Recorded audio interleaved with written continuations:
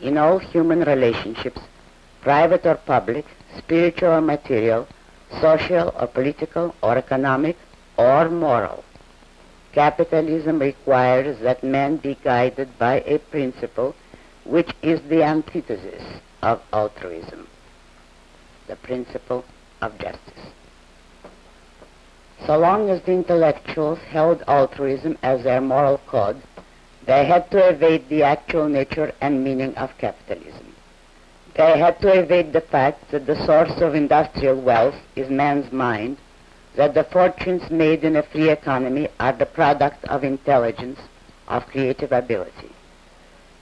This led them to the modern version of the ancient soul-body dichotomy to the contradiction of upholding the freedom of the mind while denying it to the most active exponents of creative intelligence, the businessmen.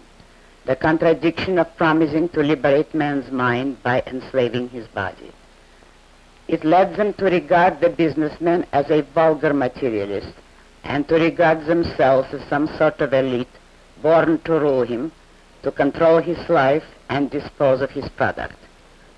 The shabby monument to this premise was the idea of divorcing production from distribution, of assuming the right to distribute that which one has not produced.